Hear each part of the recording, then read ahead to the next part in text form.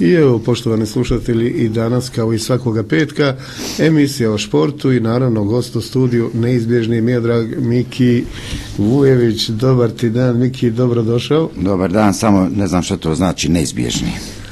Pa, bez tebe više ne može ova emisija. Dobro, Bez mene još nekako i može, ali bez tebe ne ide. Dobro, hvala lijepo.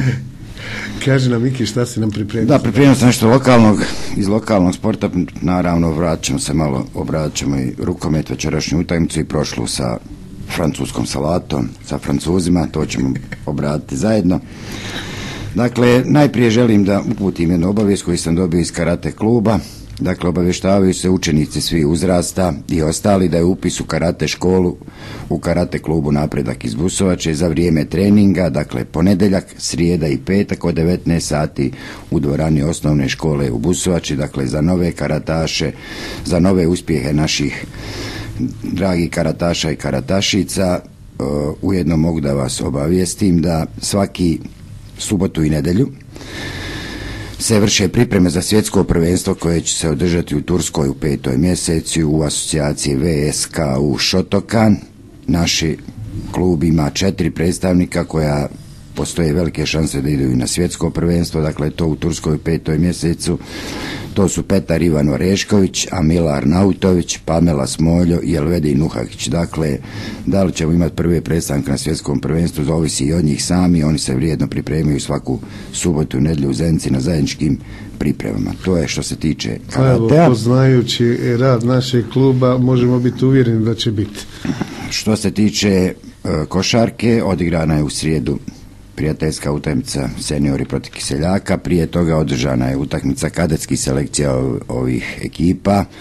Prošle godine je isto tako odigrana utakmica. Prošle godine je bio su igrali pioniri protiv kadeta, ove godine kadeti i kadeti, 87-49 sigurna pobjeda domaće ekipe, puno koševa, dobra igra igrači predvođeni novim ovogodišnjim trenerom Marićem zaista pokazuju da njihov rad pokazuje rezultate. Što se tiče seniorske utakmice, ponovo je dvorana bila dobro popunjena, 126-98, bila je to prava revija košarke, postignuto 224 poena, Busovača kako to izgleda ove godine i običaj, ponovo je loše otvorila utakmicu. Nedim Bejtić iz Kiseljaka u prvih šest minuta šutirao je 6-5 za trojku, a i e, Miro Vujčić 3-3 za dvojku, poveli su sa 8 pojena razlike, onda je trener promijenio obranu. Razlog e, igranja zone bilo je neigranje najvišeg igrača Gudelja koji je imao virozu. Nakon promjene obrane, nakon striknog dodjeljivanja Toni Kolaka na navedenom već Bejtiću, Polako su krenule kontre, razigrao se novi play Ivan Šero, Leon Katava povratnik, brzo je okrenut rezultat sa minus 8 na plus 9 i samo je kasnije sve više i više razlika rasla. U trećoj šetini Toni Kolak je postigao u toj uh, 18 poena, razigrao se i Kornelije Zilđić i na kraju Josip Križanović, trener, dao je šansu i mlađim, dakle prvi put je zaigrao i Miro Dražić, kadetski inače igrao je kadetsku utakmicu, postigao svoj prvi poeni, da pomenem Brunu Vuletu također kadeta koji je na kraju sa trojkom začinio i postigao svoje prve seniorske poene. Na kraju Leon Katava 31 poen, Ivan Šero 30, Kornelije Zilđić 24 i Toni Kolak 26, dakle napadački odlično, odbrambeno malo slabije. To je dobra bila utakmica, možda i posljednja provjera pred utakmicu u Grudama idući tjedan kada se nastavlja natjecanje u Ligi Herceg Bosne. Pobjeda u Grudama bi sigurno značila korak bliže play-offu među četiri, ulazak među četiri ekipe za prvaka Herceg Bosne za ulazak u prvu ligu, što je i cilj ove ekipe. Pomenut ću ovoga Nedima Bejića koji je na kraju postigao 10 trojki, 38 poena i odlično odigrao utakmicu. To je što se tiče lokalnog sporta. E, da se vratimo malo na rukomet. Na Francuze ili ćemo na večer? Pa, prvo ćemo se vratiti malo na Francuze. Gledali smo tu utakmicu, nadam se, svi smo pratili. Pa je sad jedan put počelo, jel, kako ti reče, da li se Karabatić kladio? na Hrvatsko. Pa ne vjerovatno, ništa pošto ona njegov onaj osmi na kraju. Ja ne sjećam se da sam kad vidio utakmicu da je on dao jedan gol. Jedan jedini. Mislim da nije bilo pet, šest, ono kad mu ne ide, ali baš jedan.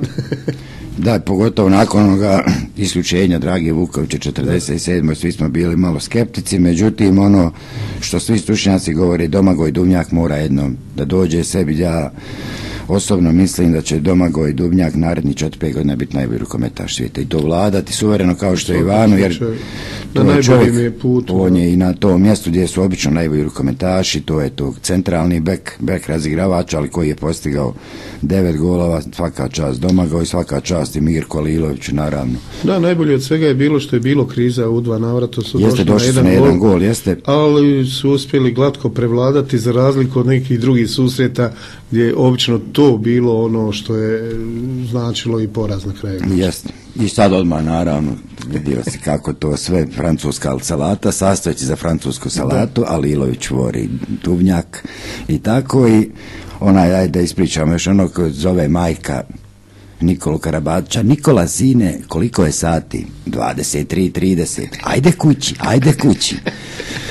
Dakle, otišao je Karabatić kući, ono što sam uspio pročitati, recimo Daniel Konstantini, bivši trener, dakle prije Oneste, e, što je bio e, prije nego što je došao Onesta koji je stvarno najtrofejniji trener i ono što su Francuzi uspjeli, vjerovatno teško da će iko ponoviti. On je zabrinut potalno za francusku reprezentaciju, kaže desit će se isto ono što se desilo Švedskoj kada je 2002. osvojila europsko prvenstvo sa starom ekipom kad su igrali Olson i Wislander E, nakon toga, evo već 11 godina nema je nigdje, on se boji za budućnost Francuske, a za Hrvatsku budućnost se ne treba. ipak e, zaboraviti da je Francuska jedna od najjačih ekipa u Europi i svijetu, a jedan poraz je pril kasnije morao doći. Sad, e, da li će oni pasti, ne bi rekao, jer ima igrača, vidjelo se i to je na ovom susretu koji igraju fantastičan rukomet, međutim jedina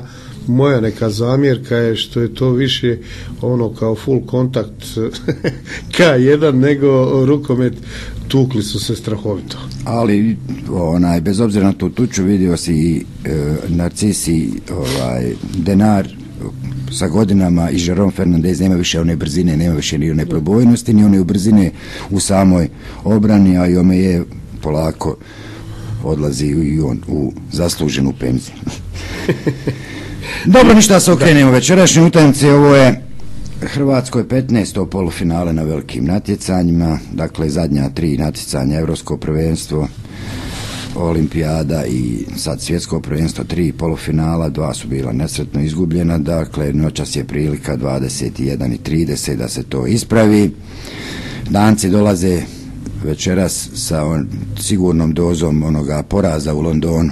32, 21, ako se sjećamo, Hrvatska je odigrala čeličnu odbranu, bio je to kineski zid u odbrani, 32, 21, 11 pojena razlike, onda sjetim se da je Mikael Hansen, inače najbolji igrač Danske, rekao zbog ovoga idući put Hrvatsku ćemo pobijeti 20 razlike, naravno, od te ljubavi nema ništa.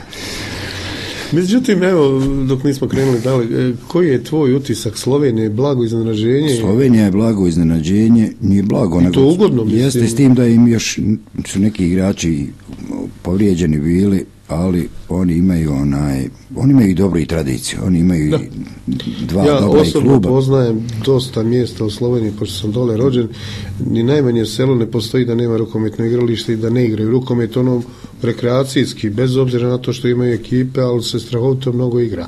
A to samo donosi... Oni ovaj, još imaju jednu drugu dozu, a to je ona da nema predavanja, to je ona malo njemačka doza, neće se sigurno predati lagano protiv Španjolaca i mislim da su oba dva polufinale izuzetno neizvjesna, do sada 12, ovo je 13. utakmica, nekom će biti baksuzna između Danaca i Hrvatske, do sada je 7-5 za Hrvatsku, s tim da je 3-1 u polufinalima, odnosno finalima u borbi za medalje za Dansku, treba dakle to večeras pokušati smanjiti pa Barem. smo uspjeli smanjiti skor sa Francuzima i možemo i sa Dancima.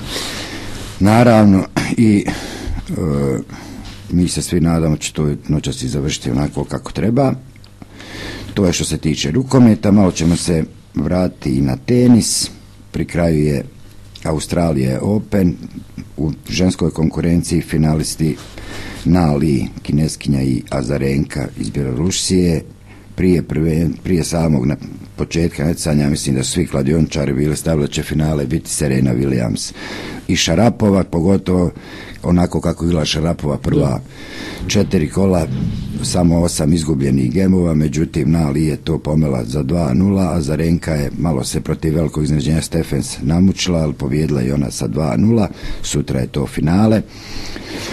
Juče Đoković za 85 minuta razmontirao je Davida Ferrera sa 3-0, 6-2, 6-2, 6-1. Trenutno Andy Murray vodi 2-1 protiv Federera, prvi set Murray jedan break 6-4, u drugom igran taj break 7-5, u taj breaku dakle 7-6 za Federera, malo prije sam baš prije što sam došao pogledao ovaj treći set i opet jedan break 6-4 za Marija i u toku je četvrti set prilika za Marija da uđe u finale, odnosno Federera da proba da dođe do petog seta i ono još što možemo najaviti u toku je Super G u Kitzbilu, sutra je velika najpoznatija utrka na štrajfu u spustu u nedelju onaj slalom i spust Da. u kombinaciji Evo prilika i za Kostelića znači- za nove Da. bodove.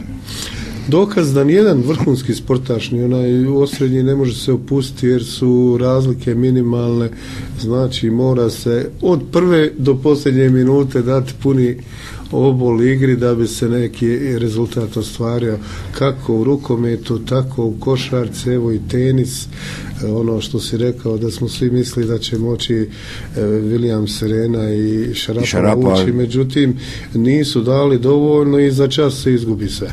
U muškom, Marka, kad si pomenuo još tenis, u muškom dijelu za ovo zadnje vrijeme prva četiri nositelja redovito dolaze u polufinale, dakle ipak postoji razlika velika između njih četiri. Da, ali evo, govorimo o tome, a, da se bilo ko od njih opusti, Opustio, makar jedan gem, može biti samo. Đokovića Da. Stepaneka kako se izvukao. Protiv e, ovoga Vavrinke, pardon. Eto, toliko još samo da najavim, to sam zaboravio u prvom dijelu lokalnom, u nedjelju 11 sati, pioniri košarkaškog kluba Busovac igraju prijateljsku utakmicu sa ekipom Novog Travnika i to je i njima pre, posljednja prva pred nastavak natjecanja idući tjedan u Ligi Herceg Bosne za mlađe kategorije. Evo, Čujemo se u ponedjeljak, naravno. Da napune dvoranu i uživaju u šparskom. Jeste, čujemo se u ponedjeljak naravno opet. Evo, tebi hvala na sudjelovanju u ovoj emisiji, Miki, a vi, poštovani slušatelji, ostanite i dalje na 101.9 FM. Očekuje vas mnogo dobre muzike, naravno i zanimljivih informacija.